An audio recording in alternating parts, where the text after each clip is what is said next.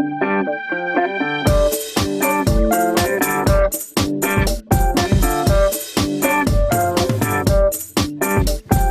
je bent een eh, visual artist.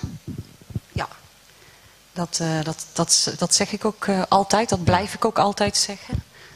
Dat ik als beeldend, beeldend kunstenaar werk. En dat vind ik ook heel belangrijk omdat zeg maar, in de discussie over de, het soort werk wat ik maak ook telkens eh, te benadrukken. Dus het wordt natuurlijk tegenwoordig heel veel gepraat over community art, over eh, art en engagement, over eh, culturele praktijken. Nou ja, kortom, hè, er zijn heel veel beschrijvingen in omloop over het werken met kunst in de openbare ruimte waarbij mensen betrokken zijn. En eh, dat kan je denk ik vanuit heel veel verschillende eh, invalshoeken doen. Vanuit een educatieve, vanuit een sociale, vanuit een meer misschien politieke. En ik denk dat je dat ook vanuit een beeldende kant kan doen. Dus ik blijf altijd heel erg benadrukken dat ik een beeldend kunstenaar ben. En dat dat eigenlijk mijn praktijk aanstuurt.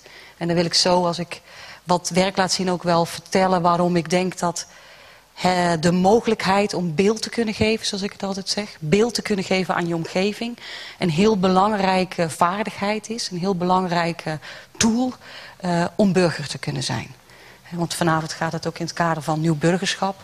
Dus ik vind dat een heel belangrijke voorwaarde. En Ja, ik denk dat je als sterker beeldend nog, daar hebben we het al kunstenaar... de hele dag over, Ja, daar heb je al de hele dag over gehad. Misschien, eh, weekends, maar- ja, daar herhaal ik jullie eh, herhaal ik, eh, de helft. Maar dat ik dus denk dat je als beeldend kunstenaar een idioom beschikt. Een set kwaliteiten. Een set kwaliteiten kan ehm, activeren die in staat is om beeld te kunnen geven. En ik zeg ook altijd, ik zie dat niet als het, het, het alleenrecht van de kunstenaar.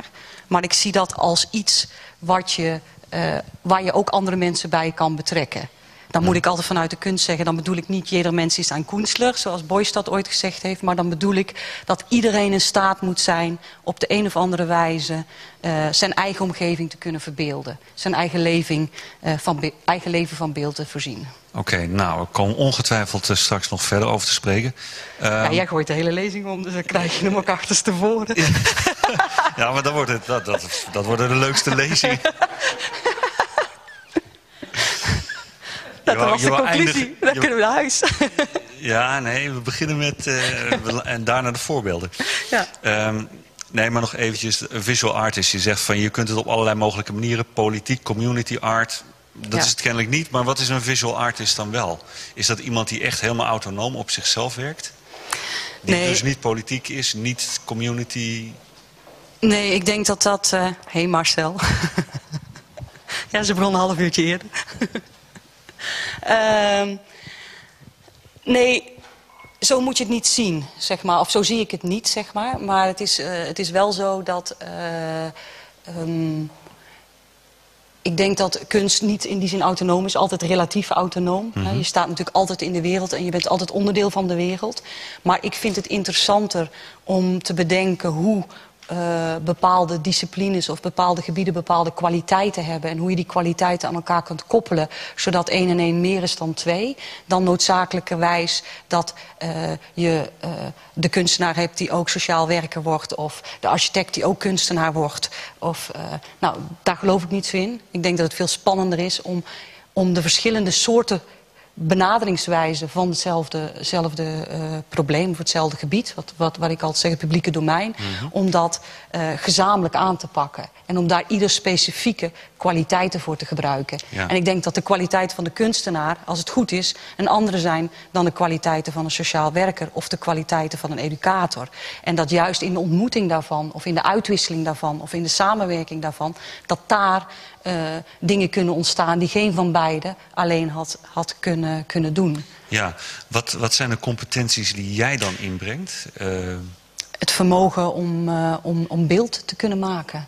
Om eh, dingen in beeld te brengen, om verbeelding tot stand te laten komen. En zoals ik al zei, ik denk dat dat op dit moment zeg maar, ongelooflijke belangrijke kwaliteit is. Dat je naast het sociale en het politieke eh, ook, en het economische, ook het culturele een heel belangrijk aspect is van ons, eh, onze maatschappij.